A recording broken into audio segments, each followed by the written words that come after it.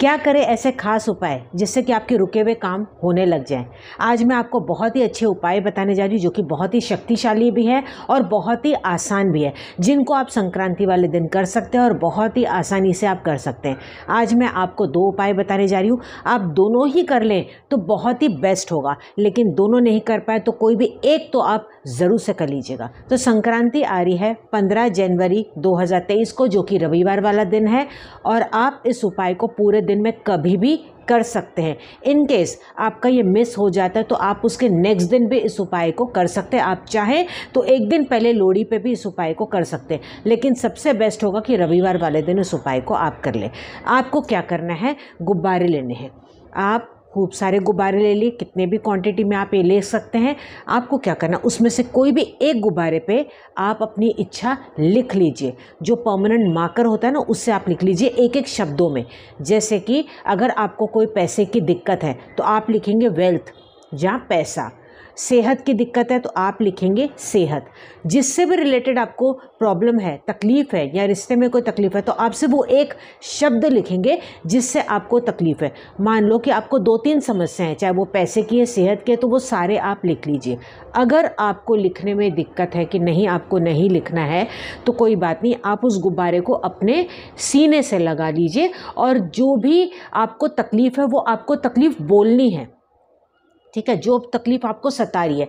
मान लो कि आपको पैसे की दिक्कत है तो पैसे टिकते नहीं है, पैसे की बहुत ज़्यादा मुझे तकलीफ़ आ रही है, सेहत की तकलीफ़ है तो मुझे बहुत ज़्यादा सेहत की प्रॉब्लम्स आ रही है या रिश्ते की तकलीफ़ है तो आप बोल सकते हैं कि रिश्ते में बहुत ज़्यादा प्रॉब्लम्स आ रही है। जिसमें भी आपको दिक्कत है ना, वो दिक्कत आपको परेशानी उस गुब्बारे को बोलिए उस एक गुब्बारे को, कोई भी एक गुब्बारा आप चूज़ कर लीजिए, कोई भी रंग का हो। फिर आपको क्या करना है, इस गुब्बारे को आपको छोड़ देना है, चाहे आप बालकनी से छोड़े, खिड़की से छोड़े, या आप इसको छत पर जाके छोड़। दें। देखें कि अगर आप ऐसे में गैस वाला अगर आप गुब्बारा लेंगे तो वो ज़्यादा अच्छा है, वो अच्छे से हवा में उड़ जाएगा। नहीं तो कोई बात नहीं, जो भी आपको गुब्बारा मिल जाए। और इसमें बिल्कुल भी वहम आपको नहीं करना है कि हाँ ये गुब्बारा उड़ गया या बाद में नीचे जाके चला गया, ऐसा नहीं है। आपको केवल इसको बस छोड़ देना है। ठीक है? भले फिर कोई उसको बाद में और ले ले, इससे भी कोई फ़र्क नहीं पड़ता। बस आपको अपने हाथ से छोड़ देना है। और आपको ये बोलना है कि आज के बाद मेरी तकलीफ़ ये ख़त्म। जो भी आपने उस पर तकलीफ़ें लिखी है, ये बोली आज के बाद मेरी ये तकलीफ़ें ख़त्म।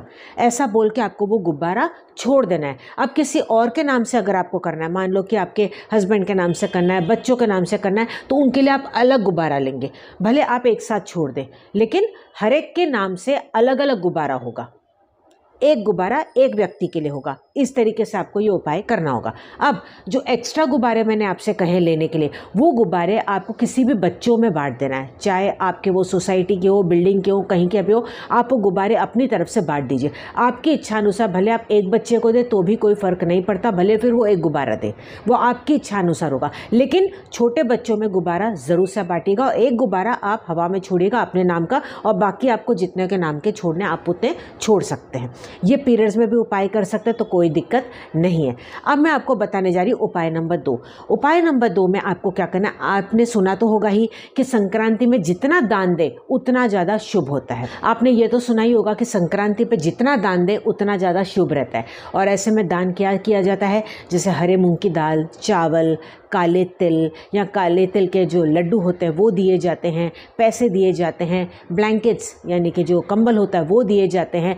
लेकिन देखा जाए तो हर कोई वही दे रहा है। लेकिन मेरा पर्सनल सजेशन आपको यही रहेगा कि जिस देश में आप रहते हैं, या जैसा आपका बजट है, या सामने वाले की जैसी रिक्वायरमेंट है, उस हिसाब से अगर आप चीज़ें देंगे तो उससे क्या होगा? सामने वाले को भी लाभ होगा, उससे खुशी मिलेगी, और आपको भी बहुत ज़्यादा खुशी मिलेगी, और आपको भी लगेगा कि हाँ ये चीज़ जो मैंने दी है, उसका सही तरीके से इस्तेमाल होगा।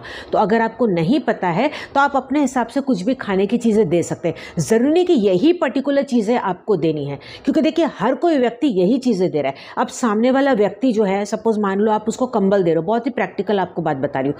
अब दस व्यक्ति, एक ही व्यक्ति को जाके कंबल दे रहे तो वो इतना सारे कंबल का आखिर करेगा तो क्या करेगा?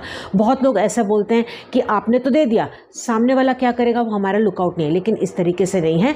अगर आप वो चीज़ दे रहे हैं, सामने वाला इस्तेमाल कर रहा है और उससे, उसका दुख दूर हो रहा है, उससे उसकी तकलीफ़ दूर हो रही है तो ही वो सही मायने से काम करता है। वो ही एक प्रैक्टिकल तरीका है जो मैं मानती हूँ और जिसको करना भी चाहिए, बहुत ही ज़्यादा अच्छा है। ये ये मेरी सोच है। अगर आप ऐसा करेंगे तो बहुत ही ज़्यादा अच्छा है। आपको खुद को बहुत ज़्यादा लगेगा। ऐसा नहीं लगेगा कि सिर्फ़ दान देने के लिए आपने दान दे दिया। ऐसे नहीं करना है। सामने वाले का भी आपको सोचना है, अपने बजट के बारे में भी सोचना है और जिस देश में आप रहते हैं, वहाँ की उस पर्सन की उसकी रिक्वायरमेंट क्या है?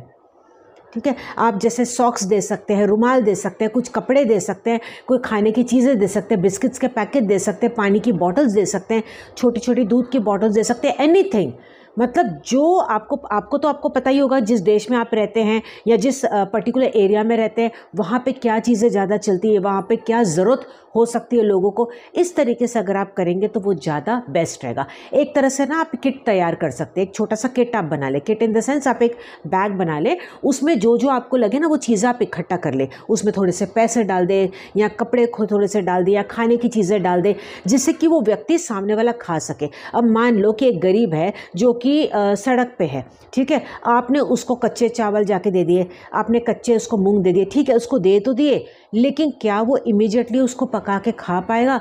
अब पता नहीं उसको सहूलियत भी है कि नहीं। तो क्या वो प्रैक्टिकल हुआ? नहीं हुआ प्रैक्टिकल। तो ऐसे में रेडी टू ईट अगर आप उसको कोई भी चीज़ देते हैं और इमीजिएटली वो चीज़ खा लेता है तो उससे उसको कितनी खुशी महसूस होगी और आपको खुद को अच्छा लगेगा जब उस व्यक्ति को आप सामने खाते हुए देखेंगे। तो इस तरीके से अगर आप प्रैक्टिकल अपने हाथों से कोई चीज़ देते हैं तो वो ज़्यादा अच्छा रहेगा। तो जितना हो सके अपने हाथ से आज बांटिएगा, चाहे फिर वो कोई भी हो। भले आप एक व्यक्ति को दे तो भी फ़र्क नहीं पड़ता। आप कितनी भी क्वांटिटी में दे सकते ऐसे पहले से ही ना थोड़े किट्स आप बना के रख लीजिए। इस वीडियो को ज़्यादा से ज़्यादा आप शेयर कीजिएगा, क्योंकि आपके वीडियो शेयर करने से बहुत लोगों की तकलीफ़ दूर हो सकती है। बहुत लोग हैं जो अफोर्ड नहीं कर पाते, अपनी तकलीफ़ों को दूर नहीं कर पाते। आपके ही वीडियो शेयर करने से उनको ये उपाय फ्री में मिल जाएँगे और उनके काम देखिए होने लग जाएँगे। कोई भी उपाय जो मैं बताती हूँ, अगर आप उसको विश्वास के साथ करेंगे ना तो ज़रूर आपके जीवन में परिवर्तन आएगा। जैसे कि आप हर बार मुझे कमेंट करके बताते मैं उम्मीद करती हूँ कि अब की बार भी आप मुझे कमेंट करके बताएँगे कि आपके काम होने लग गए। इससे बड़ा आशीर्वाद मेरे जीवन में और क्या हो सकता है और इससे बड़ी खुशी और क्या हो सकती है। चैनल पर इस तरह के और वीडियोज़ आप देखना चाहते हैं, मंत्रस देखना चाहते हैं तो चैनल को सब्सक्राइब ज़रूर से कर लीजिएगा। नीचे जो रेड कलर का बटन है, आप मुझे फेसबुक और इंस्टाग्राम पे भी फॉलो कर सकते हैं। तो चलिए, हम मिलेंगे अगले एपिसोड में। तब तक आप अपना पूरा ध्यान रखिएगा I wish you all the best नमस्कार।